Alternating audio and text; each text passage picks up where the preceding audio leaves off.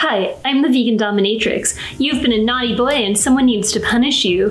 What uh, kind of material would you like uh, the belt uh, to be made out of? We're all vegan here, so we don't have any leather, but I have like a lot of different types of leather substitutes. So we'll, you know, we could like work this out. This is just, this one's just like standard um, plastic, um, you know, like pretty basic. Like uh, this one's really nice. It's kind of like all organic uh, kind of like a, a, pineapple leather. It's like super sustainable and like um, all plant based and um, you know this this one's like nice. It's like kind of cloth based um, and it's I think it's actually dyed red from some type of flower. Um, I can get you the name of that flower. Like just let me know and I'll and it's also got these kind of like metal. Uh, I think those will like hurt uh, quite nicely and um, you know uh, this one's like just uh, standard cloth. You know, it's like pretty basic.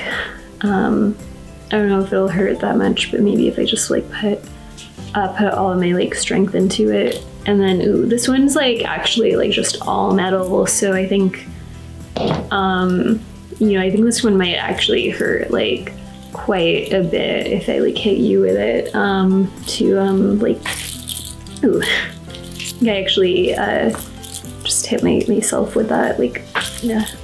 Yeah, just like let me know um, whatever you, and if there's like an alternative um, material type, like just let me know. Um, also, like please um, inform me if you have any like allergies, either like oral or skin based. Um, I just like want to have that um, on file. So thanks.